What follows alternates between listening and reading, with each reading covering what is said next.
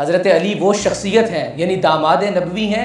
हज़रत अली वो शख्सियत है जिनके बारे में अल्लाह के नबी ने फरमाया था मन कुन तो मौला फ़हाजा अली मौला यानी जिसका मैं मौला उसका हज़रत अली भी मौला। हज़रत अली भी उसके मौला है जिसके नबी करीम सल्लल्लाहु अलैहि वसल्लम मौला है। यानी हज़रत अली रज़ी अल्लाह तु से बुग्ज़ सिर्फ़ मुनाफिक ही रख सकता है।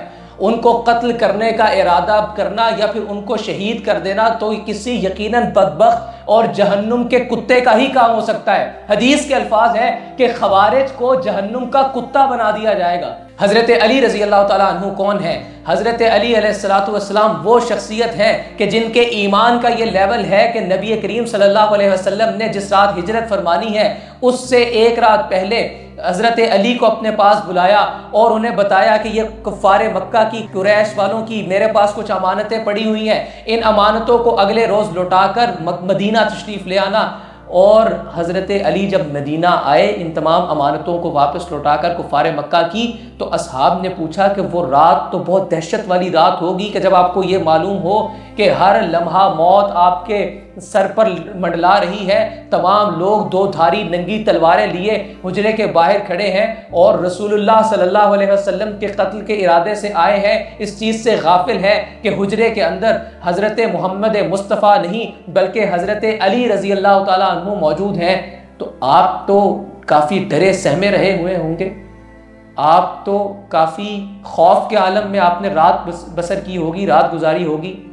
हज़रत अली के ईमान का ये लेवल देखिए। हज़रत अली ने जवाब दिया कि, अली, अगर कोई रात सबसे ज़्यादा सुकून की सोया है तो वो यही रात थी क्योंकि नबूवत वाली ज़ुबान से मैंने ये अल्फाज सुने थे कि अली इन तमाम अमानतों को कुफ़ार मक्का के दरमियान लुटाकर अगले रोज मदीना आ जाना। यानी मुझे यकीन था कि ये दो धारी तलवारें, ये तेज और नंगी तलवारें, ये कुफारे मक्का के तिलबिलाते हुए चेहरे, ये इनके जज्बात, ये इनका गुस्सा, ये इनका दबदबा मुझे कोई नुकसान नहीं पहुँचा सकेगा, क्योंकि नबूवत वाली मीठी ज़ुबान ने मुझे ये कहा है कि तुम अगले दिन का सूरज तुलू होता हुआ देखोगे, कुफारे मक्का को अमानतें लुटाओगे, हत्ता के मदीना तक आ जाओगे।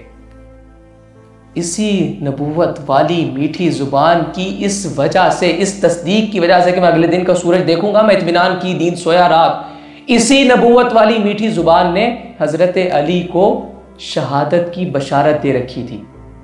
गोया हज़रत अली मुकम्मल ज़िंदगी इतमान के साथ गुजार रहे थे। उन्हें पहले से मालूम था कि उन्हें एक रोज़ शहीद कर दिया जाएगा।